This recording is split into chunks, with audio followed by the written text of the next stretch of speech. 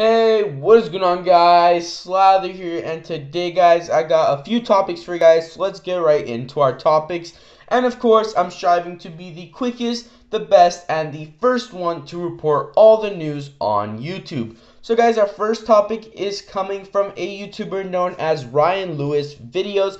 Now this guy has almost 50,000 subscribers and he does these scare pranks, you know, the ones where he's standing at some kind of sculpture and then he jumps out at a bunch of people and they get scared and it's a great reaction. Well guys, someone seemed to break into his house. I don't really know who it was. I don't really know the background. Sue me. But if you guys know, please comment in the comments like how this happened. But guys, pretty much he came out with a video called Our House and SUV Got Destroyed. And in this video, he goes around his whole house, he shows his car, and how his whole house pretty much looks like it went through a tornado but like it wasn't really like a natural disaster. It looks like someone came in and pretty much broke everything.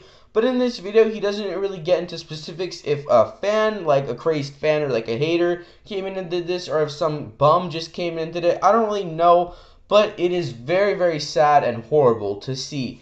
Now guys, the next topic is coming from Alex Mandel Vlogs. Now this is actually the son of Howie Mandel, and he came out with a tweet saying hashtag OurMine, and people pretty much knew at this point that he was hacked. He tweeted out after that saying all my accounts are seriously being hacked right now, desperately changing passwords as quick as possible, SOS. And then guys, he tweeted out saying what the fuck is OurMine? So yeah, guys, it seems like he's fine now. They haven't tweeted anything out. His YouTube channel seems to be fine. But yeah, guys, it seems like OurMine was able to hack him for a quick while. Now, guys, this last topic is coming from a giant, a giant Twitch streamer, and also a pretty big YouTuber known as Big Foltz. Now, guys, today his channel was closed on Twitch. Now, he tweeted out saying, Thanks for all the support on my Twitch ban We'll be talking about it very soon. But if you actually type out twitch.tv slash bigfoltz, it says that the Twitch channel has been closed. So pretty much closed would be like if a channel was pretty much totally deleted. And I guess that's what it just generically says when a channel gets banned. Now guys, I was rendering this video, but a very big topic just popped up. FaZe Rain just uploaded a video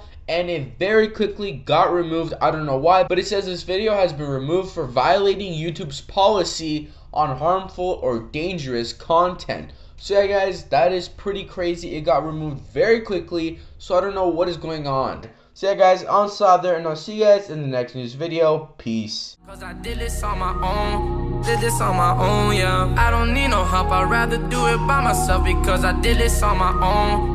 Did this on my own, yeah. Don't ask me for something, I don't owe you nothing. Did this on my own.